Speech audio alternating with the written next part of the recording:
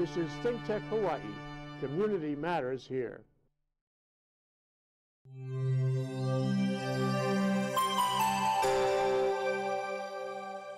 But I have good Talk about provocation. Have we got provocation? We got Toby Kincaid. He's the founder, CEO, president, and all-around guy at Solardyne.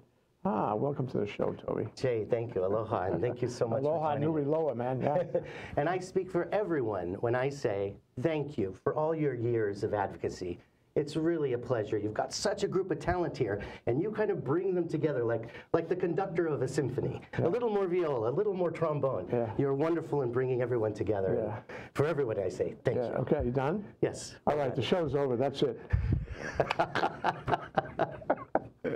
Toby, we want to talk about solar today, but Yes. we're talking about you know the, the new the new wave in solar, okay? Yes. And we always like to start with top down. So I asked you before the show, you know, what's news? Give me news. You know, and first you said, well, solar has been constricting. I think was the word you used. Yes. But now there's something else happening. It's a sea change. We like sea changes. We want to know about them. Toby, what's the sea change in solar? economics. Before everything was expensive, you know, when you buy something, they have a lot of money up front, and everyone's well, you know, and then there's permitting issues, regulatory affairs, makes it all difficult. So what's new is now we can package the technology and we can package the money. And if you put those two together, you have an underwriter come up with the money, and if you just agree to use it at a certain rate, we can pay the underwriter, everyone gets paid and gets their money, and this is a sea change because now the consumer doesn't have the burden of this huge economic weight of, oh, let's buy a solar system.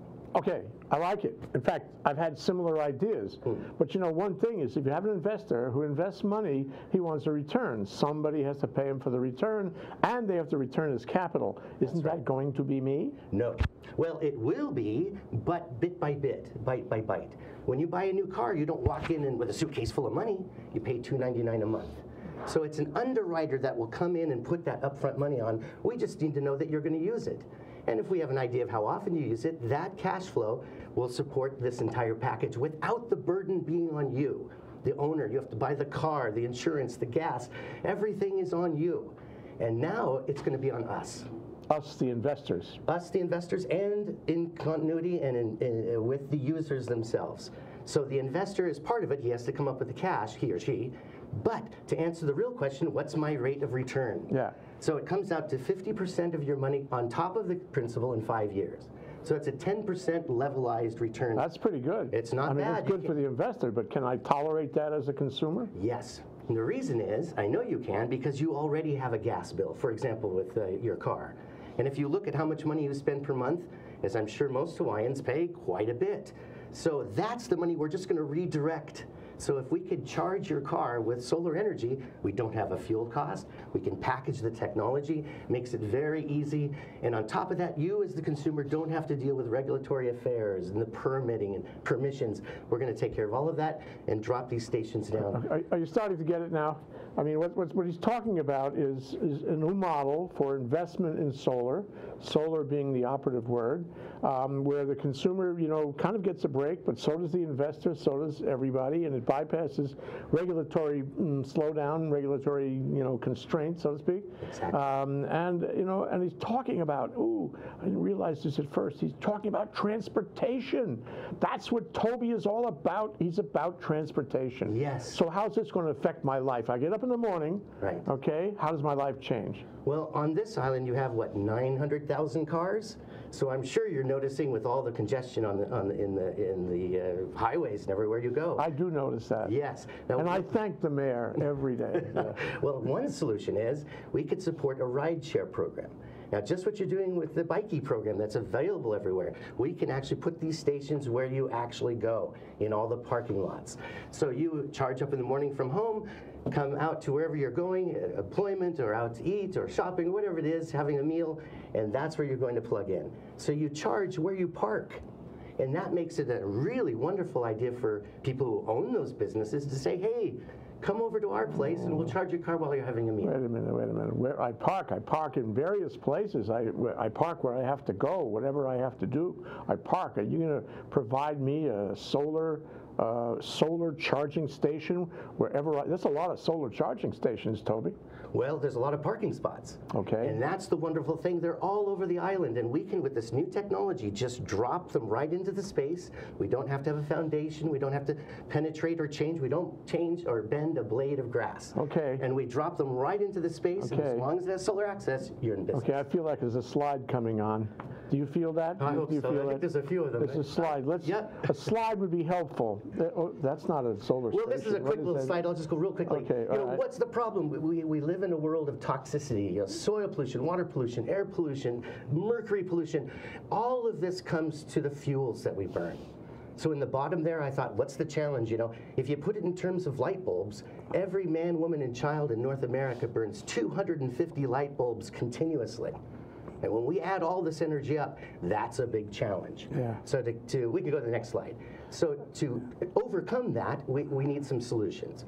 Now here is just a quick little calculation. We don't have to go through the whole thing, but I can't read it anyway, yeah, so you could better you- explain it. could you power Oahu with solar energy? So I did a calculation based on your resources and how much that you need, the 6,700 gigawatt hours. And at the end of the day, it comes out to about 8.8 square miles.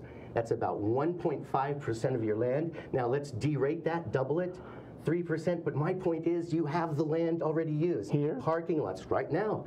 Here on Oahu, parking lots, uh, spaced on military bases, uh, uh, even the roadways could be covered. You have the land. Talking about shade. Shade is a good thing. Shade is a good thing. I don't need to burn my head all the time. Exactly. Nor I do have you, that nor do you. I think we have something in common. Okay, so um, you got a slide about how you do this with the shade and the solar? Right, And, and not, not chicken scratch now, a real Yeah, yeah. slide. Maybe we'll jump to the pictures if you have it there in the in the studio. That's the last uh, JPEGs. Well, we're going to go through. This was very quickly kind of five different stations. One goes in the parking lot, one goes in your driveway, and then there's three solar hydrogen stations that are each 10 times larger. That's all you need to do is as many of these distributed around the plan uh, around the uh, the uh, island is. Oh, it's beginning to possible. emerge now. I see something. Okay, you a- go to the next with slide. a- With a, a roof on it. Okay, here we go. All right. Now, okay. this is a complete power plant that we just literally assemble on a trailer, drive it to the spot, and on site we lower it down hydraulically. So it takes about 10 minutes to install this station. And now you can drive in, plug in, and we're going from photons to fast charge. You're putting the sunlight directly into your car. And the array is a four kilowatt array. That's about the size that you put on your house. And this is going to It's a provide lot that of, lot of power then. That's a lot of power. So it's a level two charger that you're looking at now, and that is what's stipulated by the government they'd like to see. So what's wonderful about the station is we can put it down, we can take it up, we can move it, we can put it anywhere there's a flat surface. And, and that is the real economic sea change. Okay, let me, uh, the jury has some questions, Toby. you bet. All right, that's Okay. Toby Kincaid. I can ask him questions. He's quick. Absolutely. Let's go back to the, that, uh, okay, so this is a, it's, it's a solar panel roof.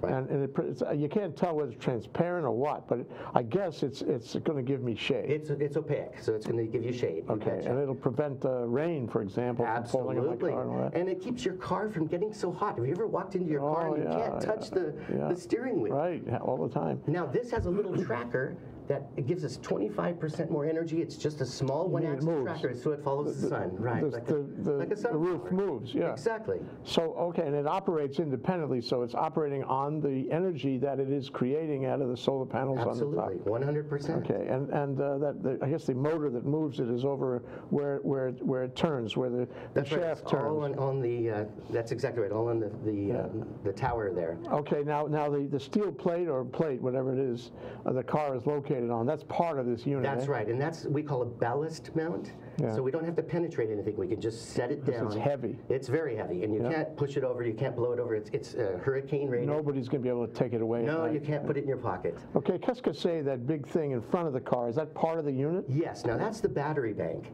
And in the batteries, the, the, of course, that many batteries is large, and it's pretty much equal to what a car battery holds in the electric cars. Uh-huh. And so, if the sun is not shining or it's late at night and you still want to charge your car, no problem. The battery's there 24 7 and you can charge directly. Now, imagine this in your driveway. You have a blackout. What are you going to do? Well, you could actually use your station to run your house for a short time. Depends on the load, but it's an industrial system and you could use it For, for. uh, For an emergency. What would, what, four, four, four, what is it, four megawatts? Oh, four kilowatts. Four kilowatts, yeah, Right, four kilowatts. No, no, yeah. Okay, anyway, all right, so this is So pretty there's another, good. another few And so. I can, I can have this in my house. Absolutely, we put it right in your driveway. And I, c- but I can't have it at every single parking spot. I can have it here and there, but not every parking Not spot. every single parking spot, but I did an aerial survey and you have lots of parking spots. You have hundreds of thousands of Use parking drones for that? Well, I use actually Google Maps. Okay. But with Google Maps, we can actually look down and count. I counted up all the spaces to find out how many were over Ah, 100 stalls. crafty fellow. Well, you have a statute, 089, that says everything over 100 stalls has to have Oh, a sure, we know about that, yeah. Right, and the problem is, how do you trench in these remote parking lots? How do you trench the power? That, that gets expensive. Yeah. So this technology is perfect because you just drop it in, Drop it in plug and place. play. Save a lot of money that way. Oh, exactly. And, the investors loved and it. The underwriters are, are now listening to that. Yeah. We don't like upfront cost. Okay. Right. So let's call this an, uh, a a charging station LLC, okay? Right.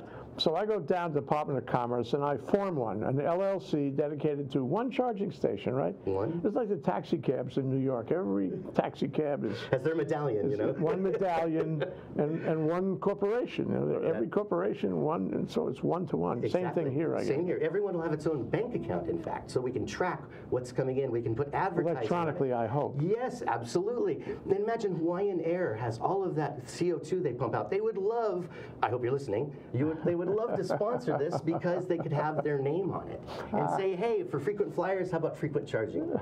Something like that.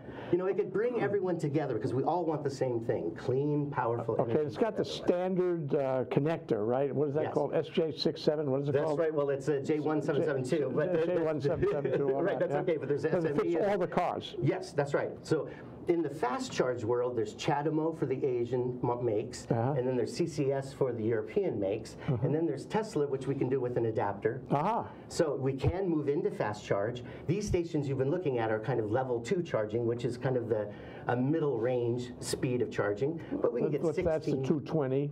and- That's- that's right. And it takes uh, how many, how many hours to charge Well, an we can, average we can push in from the sun about 16 miles an hour of, of range, but each station will produce in one day 150 miles of clean transportation from a parking space. That's over 4,000 miles a month from a parking stall. Uh-huh, that Now that puts it in would be- perspective.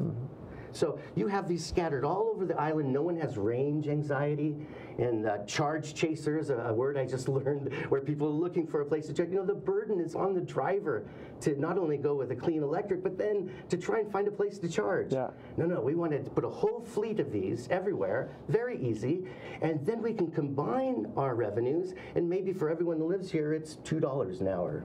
And for everyone who's a tourist, you have to pay market rate. So, how- okay, let's, uh, let's talk about that. I Okay. I do want to get back to, you know, my LLC thing, but. Yes, yes. um, So, $2 an hour. for example, And uh, he has an account. right. And uh, does he have to put a credit card in, or is it automated, Toby? It's automated, and we'll have, a, knew sun, you'd uh, say we'll have a little Sun Card or Sun Club or Yeah, yeah. Driving on Sunshine Club. Yeah, And the more you use it, the more maybe you get those frequent flyer miles, or you can shop at Lowe's or Home Depot and say, hey, charge, and, and we'll give you some discounts, or have a meal with us. We know you're doing your best. Let's reward the EV driver instead of making it so hard to do the right thing. Yeah, this sounds Let's make good. it easy to do the Make right it easy, and you put it, you can put it on gas stations. A gas station would take it. Absolutely. You know, These are uh, sun stations. It's, it's a natural Yes, fit. it's a perfect fit. So you, if you have a fossil car, uh, then you can get fossil fuel if you want. But better yet, if you have an electric car, you can just pull up in the gas station. Right. And, and okay, but how fast does um, does a 220? What do you call Well, it? about uh, yeah, level two is about 16 miles per hour of, of pushing vehicle range into your is battery. that fast enough if I'm stuck? Well, it's level two. In fact, we can, we could quickly have a little truck rescue but you'll have so many charging stations available, you'll never you can get go stuck. 16 miles and the next one and so forth. Yeah, well, uh, you could, that's just per hour if you park there half a day for work or Are you thinking about level three? oh yeah, fast charge is what we really want. Yeah, that yeah. photons and the But this is a way to get into the market. That's right. This is what we have now. It's proven in the field. We, we know how to do it. We know how to work with it. And then in the future, we'll upgrade to the fast charge. Yeah, the future is what it's all about. Oh, and that's why we're going to take one minute break. And when we get back, we're going to talk about the future, Toby. Toby Kincaid, Solardyne, right here on Think Tech. We'll be right back. Raising public awareness.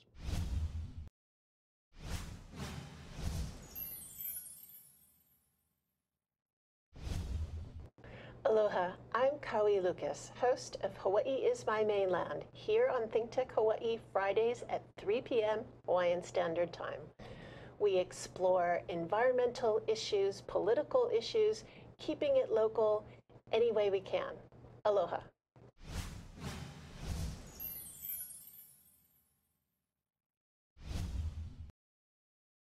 I just walked by and I said, what's happening, guys? They told me they were making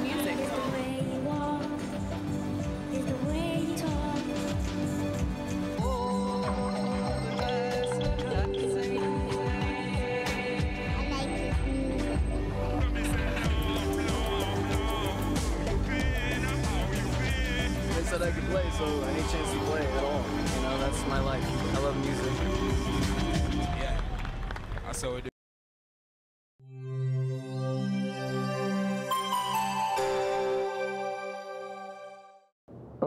Hike, we're back. I'm Jay Fidell. That's Toby Kincaid, Solardyne. We're talking about a very creative guy and a very creative project. So let's bring out the picture of the red car. Hmm. It's like the, the, the woman in red, right? You bet. Okay, the picture of the red car. Bang, watch. What is that? That is the future.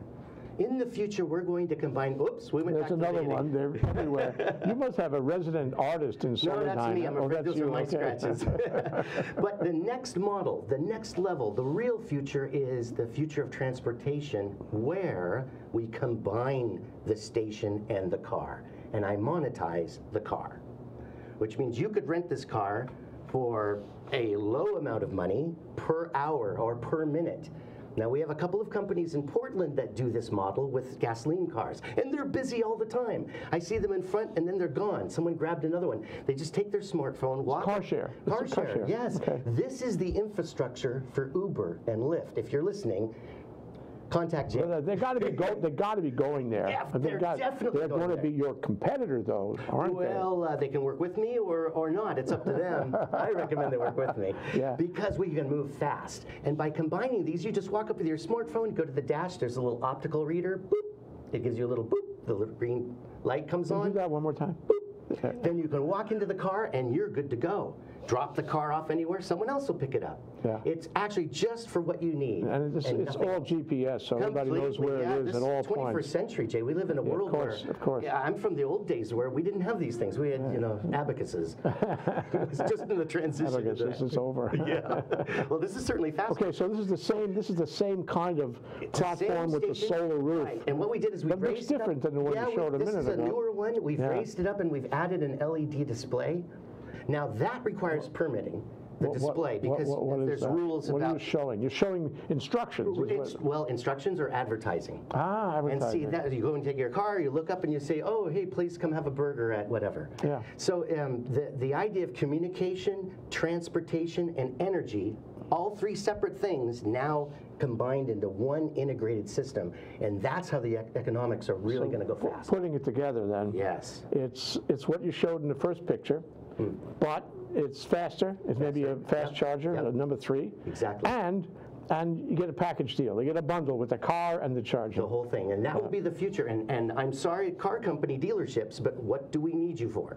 Why would you buy a new car when I can give you a Tesla or an i3 or anything you want simply with your smartphone by the hour? And not a very much money either. We could do these for $20 an hour and do it by the minute, so it's it's only a few dimes. per Well, in, in Hawaii, that might not be a problem, but if, you know, if you have long distances on the mainland, that would, would be a problem. 20 dollars an hour, well, they're pretty expensive. Well, it would be, but if you look at the costs of Uber drivers and Lyft drivers, Yeah. because they pay everything. They pay for their car, they pay for depreciation, they pay for insurance, they pay for gas, they pay for cleaning, they pay for everything. You add that all up, this is less than that.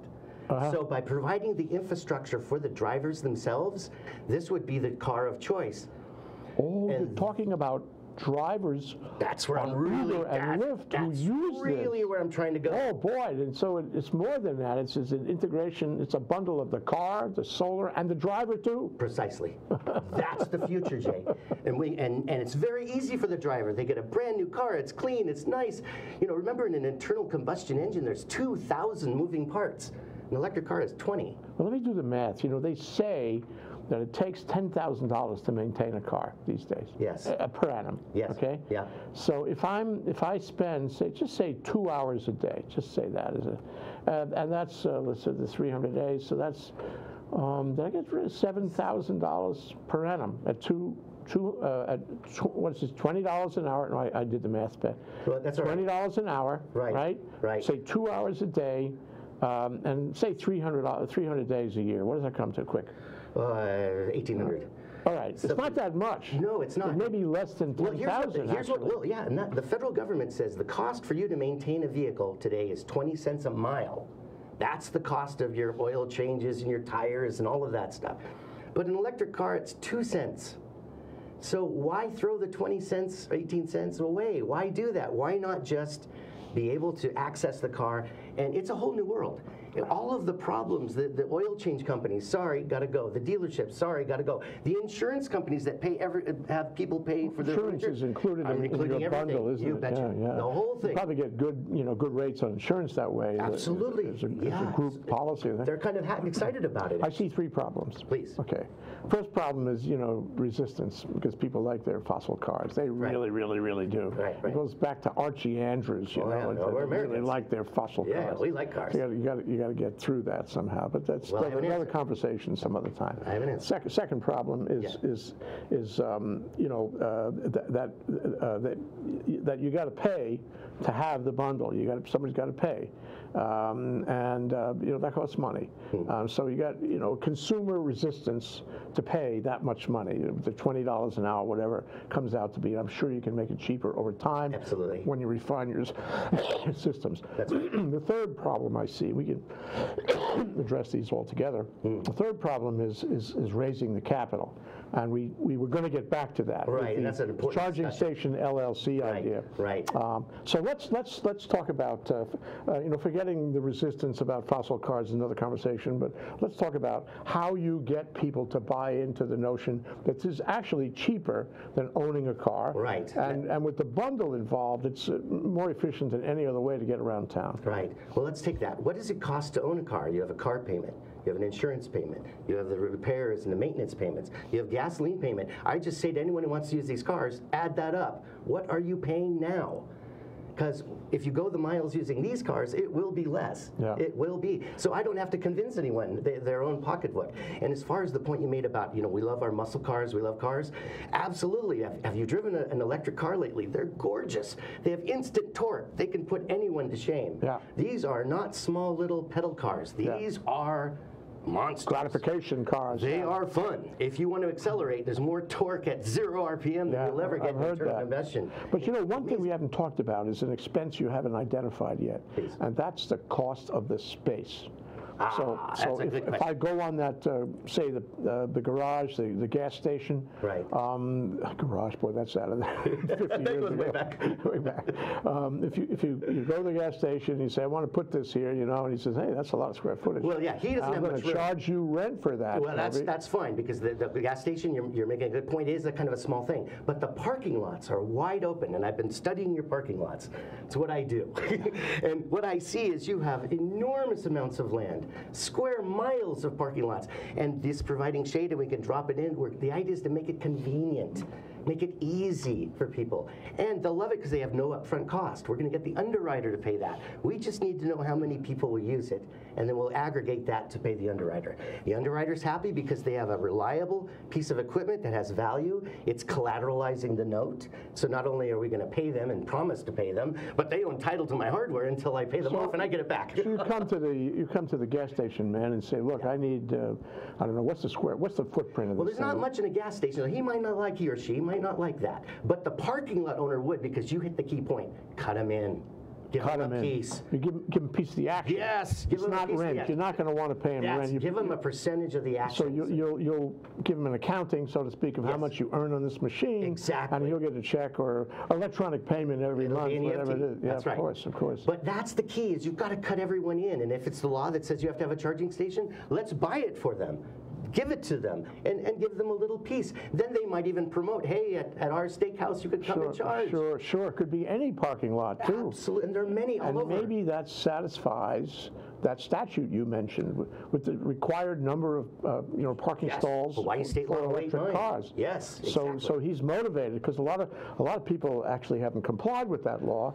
So like, well, the, the low-hanging fruit was taken, and Yeah. now the people that are out of compliance have just are facing a huge cost. Yeah, And so of- let's of putting in the you new got to stalls trench and it all- all in, yeah, and then all the yeah, bridge, just hundreds of thousands of dollars. Yeah. How about zero cost, and I and I And you get a check. you get a piece. That's pretty good. So on that level, and furthermore, I'd like to say that if the gas station guy doesn't want to do it, that's fine. You go down the block, because there's always somebody who's going to want to do it. Some people do like to make money, and those parking lot owners are particularly interested because it's just it's the most valuable real estate in the city. I tell you, it's the most undervalued asset in America our parking lots, and in fact, one. Th- Third or 40% of Houston in the city limits is all dedicated to parking and cars. Well, it used to be. yeah, now it's going down. Now, now it's going, now it's going wet. Now the idea is, yeah, well, that's a good point. But th- shouldn't that uh, uh, even inspire us more not to keep putting carbon into the atmosphere? Yeah. It's going to express, Yeah. and it's going to express violently, and we don't want that. Yeah, yeah.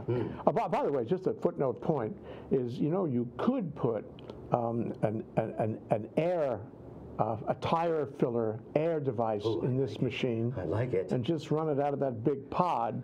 So if he wants, if his tires are low, he can do that by himself real Brilliant. quick. No, no, absolutely. That's the idea is to keep. We- we're adding little USB ports. You can charge your wheelchair, your your phone. If you have a disaster, if your grid goes down for whatever reason, how are people going to communicate? You need these power supplies distributed everywhere. Yeah. So there's an- there's a Oh, nice you might angle. even, if the, if the utility wanted it back, if they wanted to wire it, you could even sell some of the power back to them. Absolutely, there's a big advantage, in fact, in working with HECO, with any utility, so that we, can, when they need energy, we can Yeah, Deliver just got to it for the wire it up, that's all. That's it. Okay, one minute, we only have a minute left. I'm sorry about this, but I wanted to ask you about the LLC. Yes. And we talked offline back when, um, I got the idea that this was not cheap. If, if I wanted to go down and buy one of these things, it would cost me $40,000 plus. Yes. Um, And if I, if I have to do that, okay, uh, then I certainly want to, I want to arrange, an, uh, you know, an investment vehicle of some kind, Right, hence the LLC. Right. So if you do that, and if we, that me and my friends, put in the money in the LLC, Hmm. we don't really have to get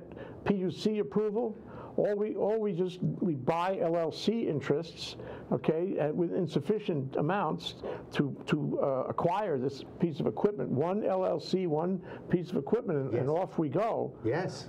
And some, and so, are you going to create um, a kind of an investment, investment machine, a vehicle? Yes. I shouldn't use the word vehicle in this context, but a vehicle so that me and my friends can buy in and then get a return. And can you tell me that I'll make, you know, what, uh, 10% a year on that? Yes, because we those are all uh, set in the contract. So the rate of return is a particular payment that gets applied, and it turns out that 50% on top of the principal over five years amortizes out to a 10% internal return rate of return for the capital. So you get, and plus you have title to the capital, to collateralizing it until you're paid. So it's a five-year note. And then once we pay that down, we've eliminated the burden to someone having to buy these stations. We just want to know that you'll use it occasionally. So And and my, and my share of that would be a proportionate part of the $40,000, whatever it is. uh, whatever whatever the amount is, yeah, and we'll include a contract for And five and I, years. for and. I, since it's a limited partnership or a corporation, I don't really have any personal exposure beyond. That's right. What my share of the acquisition cost is. Exactly, Yeah. exactly. Oh, gee whiz. And at the end of the day, we can even transfer the title to that LLC if we had a large So it's a purchase agreement or a sale of the equipment to to Right. the, and of course, it has to be a maintenance agreement too, so. That has to be included, And you right. would, you We maintain it for right. the LLC. You betcha. Very interesting. Where's my checkbook? Can you bring my, never mind.